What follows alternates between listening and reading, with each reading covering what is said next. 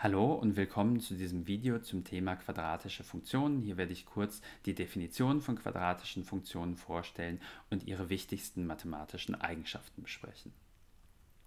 Hier haben wir also schon die, den Funktionsterm einer quadratischen Funktion stehen, ist üblicherweise auch definiert als eine Funktion f von einem Argument x und dann habe ich zuerst den Summanden a mal x plus b mal x plus c.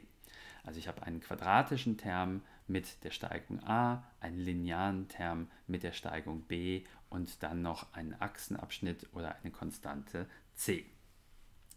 Wie schaut so eine Funktion aus? Die hat also so eine äh, Parabelform äh, und ähm, hat entweder ein Minimum, ja, wenn ich also eine ähm, Parabel habe, die nach oben offen ist, ist der Scheitelpunkt dieser Parabel äh, das Minimum der Funktion oder wenn die Parabel nach unten offen ist, ist der Scheitelpunkt das Maximum dieser Funktion.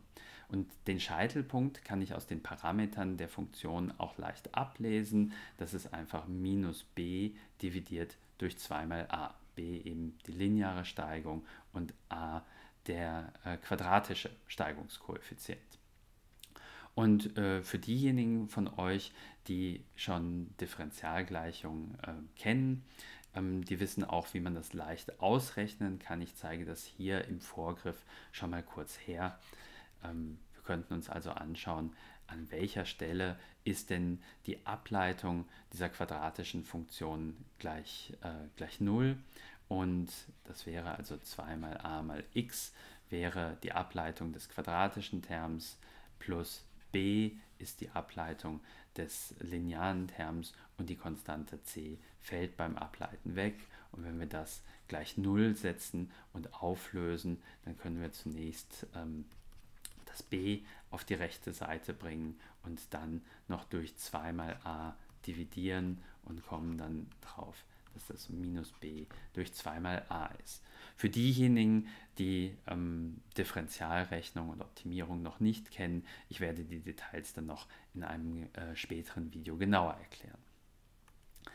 Okay, und ähm, dieses, ähm, dieser Scheitelpunkt ist, wie gesagt, das Minimum, wenn die Funktion nach oben offen ist. Man nennt sie dann auch konvex. Das heißt also, dass alle Verbindungslinien, die ich zwischen zwei Punkten hier äh, zeichnen könnte, dass die oberhalb von der Funktion liegen.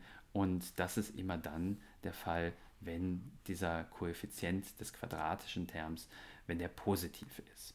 Hingegen, wenn er negativ ist, dann ist die Funktion nach unten offen und dazu sagt man dann auch konkav.